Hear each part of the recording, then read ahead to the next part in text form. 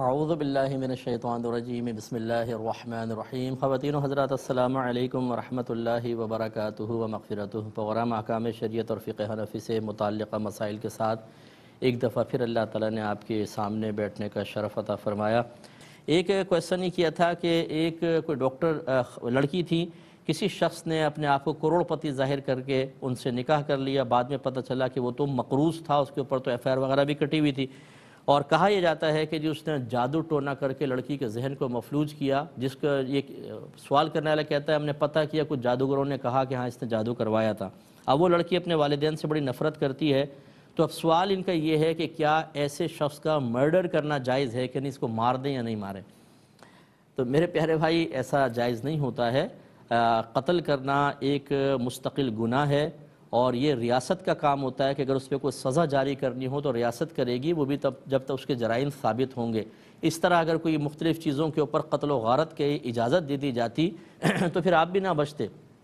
کیونکہ کوئی نہ کوئی کسی نہ کسی جہت سے کسی نہ کسی طرح کی کسی خطا میں مبتلا ہوتا ہے تو قتل و غارت عام ہوتی، تو مرڈر بالکل جائز نہیں ہے۔ دوسری بات یہ کہ یہ جادوگروں کا یہ کہنا کہ اس نے جادو کروایا ہے یہ بھی کوئی مطلب یہ کہ ثبوت نہیں ہے کہ واقعی اس نے ایسا کروایا ہے اور اس سے ذہن مفلوج ہو گیا، ایسا نہیں ہوتا ہے۔ بہت سے لوگ کہتے ہیں کہ مجھ پہ جادو کروا دیا تھا۔ اور اب میں اس کا بڑا مخالف ہوں۔ میں سوال کرتا ہوں کہ جب جادو تھا، آپ مفلوج ہو گئے، اب وہ جادو کہاں چلا گیا؟ اب اس کے تعویذات بے اثر کیوں ہو گئے؟ اب آپ کا ذہن کیوں بن گیا کہ اب اس سے دور ہونا چاہیے؟ تو یہ مطلب یہ کہ سب ہمارے توہمات ہوتی ہیں اور یہ جادوگر وغیرہ اسی طریقے سے پھوٹ ڈلواتے ہیں، بدگمانی ڈال، ڈلواتے ہیں۔ اس طرح کی موہوم باتوں کو بنیاد بنا کر یقینی طور پہ قتل کا اقدام کرنا بالکل شرن جائز نہیں۔ وہ ڈاکٹر بچی ہے، سارے معاملات کر رہی ہے، کیا اس کو عقل نہیں تھی کہ مجھے کیا کرنا ہے، کیا نہیں کرنا؟ اس طرح بہرحال یہ مرڈر بالکل جائز نہیں ہے۔ نہ جادوگروں کی باتوں پر یقین کرنا صحیح ہے۔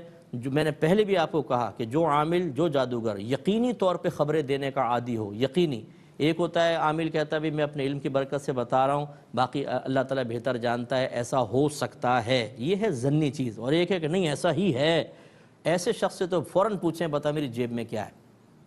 اس جیب میں کتنے پیسے ہیں، اس میں کتنے خالی جیب کے بارے میں پوچھے بتا اس میں کتنے پیسے ہیں اور کون سے ڈاکومنٹس ہیں اور اس میں کس کس کا نام لکھا ہوا ہے؟ اگر وہ اتنا ماہر ہے کہ وہ بتا سکتا ہے کہ فلاں نے جادو کروایا ہے، تو وہ یہ بھی بتا سکتا ہے کہ آپ کی جیب میں کیا ہے۔ دو منٹ میں اس کو اپنی اوقات یاد نہ آئے تو میرا نام بدل دیجیے گا۔ لیکن یہ جو اچھے عاملین ہیں، ان کا امتحان نہ لیں۔ کیونکہ وہ تو پہلے ہی کہہ رہے ہیں کہ بھئی ہم تو علم کی برکت سے بتا رہے ہیں۔ غیب کا حال تو اللہ جانتا ہے۔ لیکن یہ جو علم غیب کا معذ اللہ دعویٰ کرنے والے جو ہوتے ہیں نا کہ میں بتا سکتا ہوں کیا ہے، کیا نہیں ہے ہنڈریڈ پرسنٹ ایسا ہے اور یوں ہے ان کو ذرا تھوڑا سا ان کے سطح پر لانے کے لیے کچھ کویسچن کرنے میں شرن کوئی حرج نہیں ہے۔